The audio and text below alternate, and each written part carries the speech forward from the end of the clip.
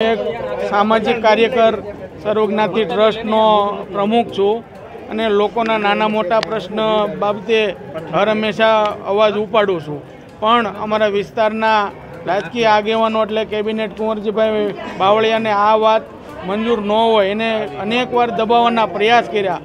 પણ હું લોકો માટે લડતો રહ્યો. બે હજાર અઢારની અંદર પણ જ્યારે ચૂંટણી હતી ત્યારે એને મારી ઉપર ફાયરિંગ કરાવ્યું.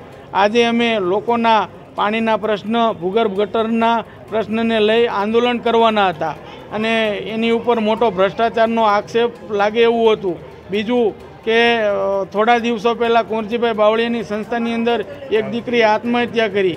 એ ખુલાસો કરવા માટે પણ મેં લડત લડી. આ બધો ખાર રાખી અને એ લોકોએ અસામાજિક તત્વોને મોકલી અને મારે મારા પર જીવલેણ હુમલો કરાવ્યો.